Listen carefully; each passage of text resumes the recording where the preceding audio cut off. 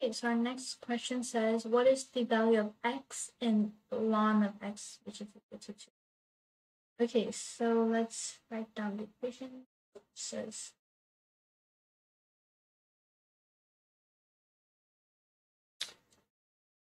ln of x equal to 2.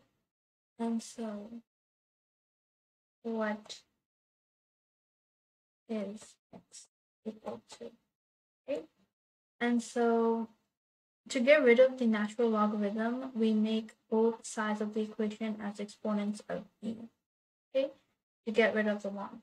So if you guys recall the property where you have,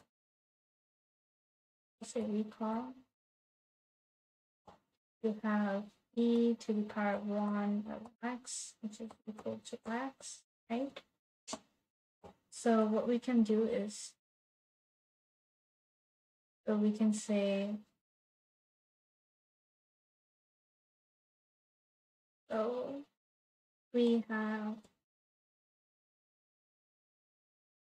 x equals to e to the power 2. Okay, right? So e to the power of our, which is what it is equal to. We know that x is equal to e to the power of what ln of x, in this ln of x is equal to 2, right? So let's just say um, x is equal to e to the power of ln of x, which is equal to 2, right? So we just substitute that in. So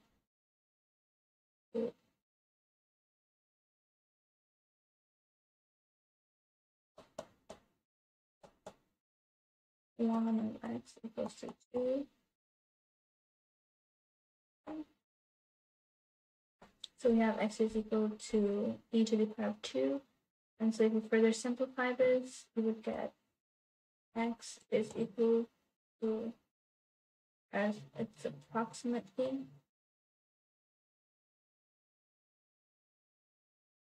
equal to 7.3891,